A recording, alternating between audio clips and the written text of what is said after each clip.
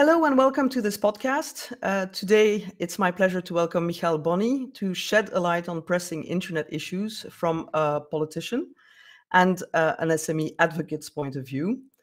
As a Polish politician, Michal was a pioneer in digital matters, both as the first Minister of Digital Affairs in Central Eastern Europe and as the author of several strategy plans on how to develop the digital economy and society in his home country. In 2014, he took, he took his expertise to Brussels as a member of the European Parliament, where he led on key digital files covering privacy, 5G, interoperability, open science cloud, and artificial intelligence. Since 2019, Michal works with different organizations, including SME Connect, the Martens Center, and the Digital Enlightenment Forum, while also sharing his knowledge of digital matters with the University for Social Sciences and Humanities in Warsaw, Poland, and the Europe, European University in Cyprus. So, Michal, you know about our three plus one format. Uh, you get three questions and one soapbox moment. Um, so let's start with question one. How do you interpret uh, the relationship between users accessing more content and services online and the impact this may have on telecom operators. Let me give you the floor. Thank you very much, Caroline, for invitation and the possibility to present my view on some issues. When I have been a Minister of Digital Affairs in Poland, I remember our discussion on the Digital Poland uh, project uh, and operational program for using European financing uh, to support the digital development. It was in 2012, 2013. There were three main three objectives. The first one, uh, digital education and digital literacy, uh, addressed to all generation and especially to elderly people uh, to make them not excluded from the digital development. The second one uh, which was focused on development of all kinds of e-services from uh, administ public administration uh, via e-health uh, uh, possibilities and solutions, uh, accessibility to open data and reuse of open data um, prepared by big cities and mm-hmm. public institutions, and of course to open the possibility for digital school which uh, meant at that time uh, to uh, open some educational sources for schools. And the second, the third issue, the, the third goal was related to the quality and accessibility of network. And it was clear uh, that there is a very big division between rural areas and uh, urban areas. And I uh, remember that representatives of telco business presented the view if we will uh, be uh, it will be easier uh, to uh, invest in rural areas uh, to make shift from 3G to 4G at that time mm. when the digital services and uh, digital literacy will grow mm. because it cause it will cause the bigger traffic, data uh, traffic consumption, and as a result, we will have the probably higher return of the investments. So uh, it was important at that time, and I think that it is important also now. Users' accessibility to more content and services online is uh, crucial for digital development that was understood at that time, it should be understood now as a driver for more profitable investment. The impact was positive, bigger traffic and a stronger economic position of telco. But now I understand the situation. There is a problem with sufficient sources for investments uh, for 5G, uh, FTTH, uh, very high capacity networks. Uh, there is a lack of adequate sources uh, uh, for these uh, uh, investments. And this is a background, probably, in my opinion, uh, of some ideas and some concepts.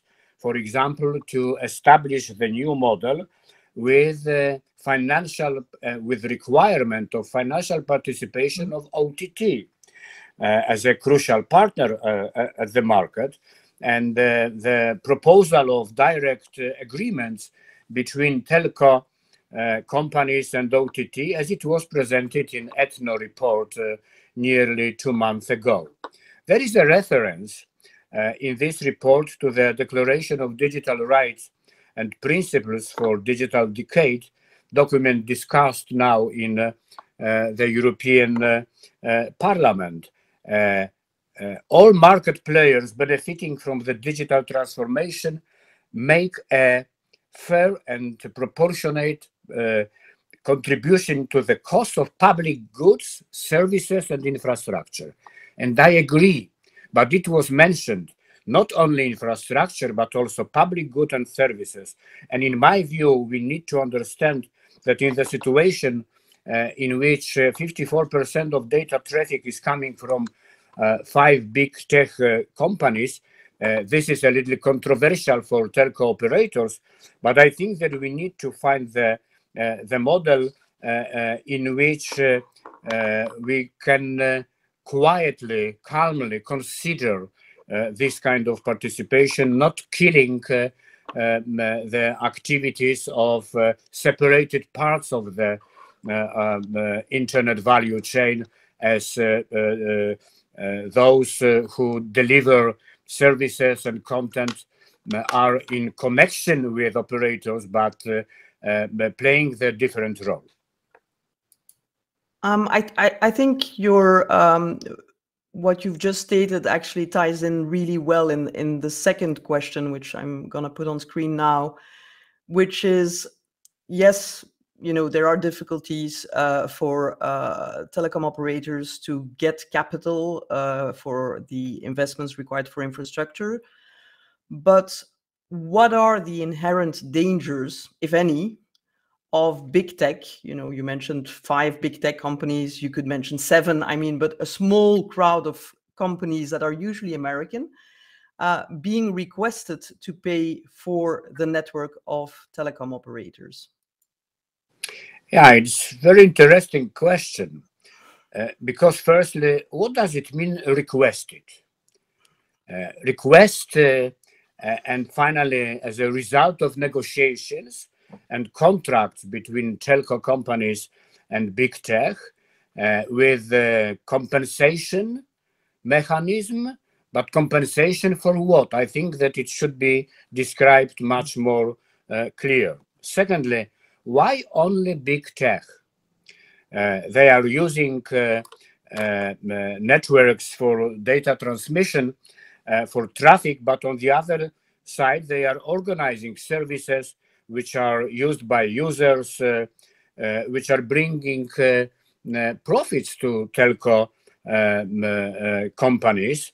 and the telco companies have profits and incomes related to our subscriptions, uh, to additional forms of paying for telco services. We are also paying for the volume of data. Mm-hmm. And it's related to the price uh, uh, which we are uh, paying. So, in my view, we need to consider uh, that big tech and all all providers of uh, uh, uh, delivery of content and services are very important as an intermediary level, intermediary level for uh, SMEs development. For us as users, it's it's obvious, but but for SMEs development, uh, uh, and I think after COVID, it's especially visible that SMEs started to use digital tools for their development, and they are much more convinced now uh, uh, to use uh, digital tools. it's of course related to services, to content via network, and I hmm. think that we need to be very cautious. Uh, uh, not uh, creating some new unintended burdens for SMEs. And the third issue is related to, to this model, if it should be mandatory, the response for this request or voluntary. and I think that um, we need to consider at the same time some unintended consequences, for example, for SMEs, limitation of access to some services, and how providers uh, not only big tech, but uh, uh, all providers, all OTT providers, will calculate the cost Uh, of this new model and participation in uh, uh, in telco investments, how it will impact on the prices for services. Mm. it will be for us as users, it will be for SMEs. I think very could be very dangerous. Uh, uh, so it will it will lead me uh, to the situation some years ago when we have discussed it was a very hot discuss, public discussion on net uh, uh, neutrality. Uh, i remember this discussion and we need to understand that there are some concerns when there is a threat or danger for net neutrality. Uh, it was described very uh, perfectly uh, by Internet Society organization, but I remember the first one, Internet fast lanes. Yeah. For whom and what is the background for, for creating these fast lanes? Uh, the new possibilities for blocking and filtering, uh, some kind of throttling which uh, can limit the user upload and download zero rated services, uh, this is illusion, but on the other hand, uh, with uh, preferential access and special advantages for some groups of clients and the limits to market competition. I don't want to repeat uh, now in 2022 uh, uh, those threats, but when we are touching the problem of net neutrality, we of course need to uh, um, uh, uh, consider those issues. Thank you. Uh, and yes, the, the net neutrality debate, it's, it's odd to have to talk about it yet again uh, after a, a decade. Um, we're uh, coming to the last question before the soapbox moment. and that's maybe more of a technical question, which is basically in the ETNO report that you mentioned previously, the contribution uh, of big tech and telcos in infrastructure uh, is uh, compared. I mean, uh, so telecom operators are comparing their investments uh, with those of big tech or content and service providers. Um, do you think that is an appropriate uh, comparison? I'm not sure. When we are discussing, for example, about uh, roads and highways, there is no pressure on car factories and uh, uh, industry to participate, to contribute to investments at that area. But there are taxes coming from uh, automobile factories and industry uh, from selling the cars, we are paying some taxes, buying the car, from individual drivers, and so on and so on. The system which supports the roads investments. And it is not comparable. Mm -hmm. uh, and when we want to develop very high capacity network, uh, because it's a real challenge now, yeah. we need to create the most adequate financial sources from the European and national budgetary sources, as for example, this is the idea, but I think it's very important, uh, uh, use incomes coming from national auctions for 5G, in which telco companies are paying as a direct source for public investments in telco internet uh, networks not going those portion of money to, to the general budget. I think it would be very, very important to consider it. Uh, and as it is, uh, um, uh, uh there should uh, use uh, sources coming from telco companies, their incomes and profits. But I agree that we need more incentives to invest in the new networks coming from taxes, and this is the question of uh, taxation, also addressed to those five, seven big tech companies, mm-hmm. American companies, because it should be uh, it should be done. We are discussing about it, but it should be done. We mm-hmm. can discuss about the OECD model, uh, uh, and I agree. But on the other hand, it should be done, uh, and probably we have to consider how to support the network's development in Europe, but not using this a little desperate model proposed uh, as a danger for net neutrality with no transparent, in my opinion, and clear premises, with a long list of unintended consequences, as, uh, for example, the new forms of discrimination mm-hmm. in accessibility of uh, some services and uh, uh content. The infrastructural needs, it's uh, important, are crucial for the digital Europe and uh, the digital decade perspectives. But we need to find the solution which uh, will be based on the clear principles and allow to avoid. Firstly, avoid unintended consequences of the discrimination of users, individuals, uh, SMEs, for which the balanced use of services and content uh, uh, via high quality networks is crucial for their future development and contribution to the economic uh, growth uh, in all uh, Europe.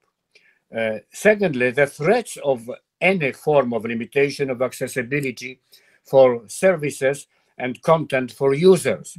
And the third, what we should avoid, the danger of non-transparent and non-building the level playing field for all partners of the internet value chain, from companies generating content and possibilities for many new services, we are just before big changes in the area of e-health.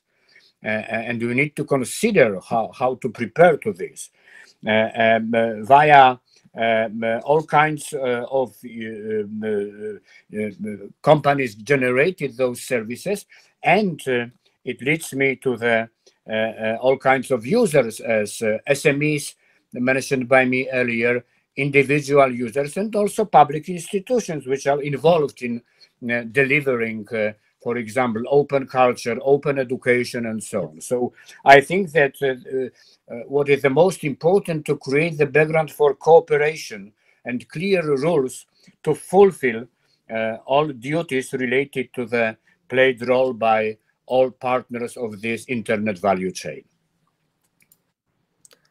Uh, thank you, Michael. That that was uh, extremely, um, I would say, clear and and detailed. And and I think the two key words I I took out of that was unintended consequences, and taking the time to do something that is um, long term sustainable and and helpful. Um, so we're reaching that that moment where you are now looking at uh, the strong ladies uh, leading uh, the European Union, uh, Ursula and Roberta and you have uh, one minute to uh, deliver a message to them. It's your soapbox moment, so make sure it's a strong message, and let's hope that they're listening. The first one understand and emphasize that there is a positive link between the growth of accessibility of services and content for users, more traffic, and opportunities to create more balanced economically result of telco operations, current and future investments. It especially uh, should be used in the reference to the development and accessibility of internet in the rural areas. The second one, uh, try to find the new model of network development investments, base it on the new budgetary solutions applied equally to all possible subjects and used innovative sharing uh, forms and participatory forms, but uh, uh, it shouldn't be implemented uh, in the mandatory way. And the third one, avoid all possible unintended consequences for usual users, for small, medium enterprises, for public in institutions, because uh, those uh, unintended consequences can bring the danger of uh, discrimination and break the net neutrality principle, which is important you see the experience of an MEP that's used to talk to a, a specific time of one minute or two minutes. Um, thank you so much, Michael. I think I think there's a lot of food for thought coming out of uh, this podcast. Um, I also uh, see that the SME um, concerns are actually quite close to the user concerns at the end of the day. Yeah. Which is to be able to continue to access um, the services and content of their choice and to be the ones in control of who the winners and losers are in the internet ecosystem, not to have other factors decide that. So uh, it's it's it's nice to see that commonality between small businesses and uh, individual users.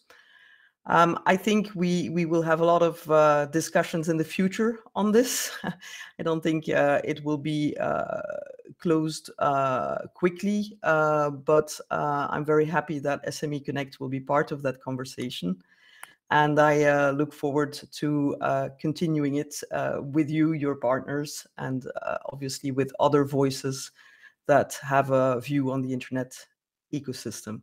Thank you so much, Michel. Thank you very much, Caroline, for invitation and for exchange of the views. I think what is the most important is to discuss some issues. Mm-hmm. Uh, uh, before we are starting with legislation, uh, I think that we need to discuss and uh, describe all aspects, uh, all dimensions, uh, and describe some dangers, threats, and some opportunities. I think it's the, the, the good background for the future legislative solutions. Thank you. Let's hope that those discussions uh, will uh, start soon and that they will be constructive. Thank you very much, Michael, and have a great day.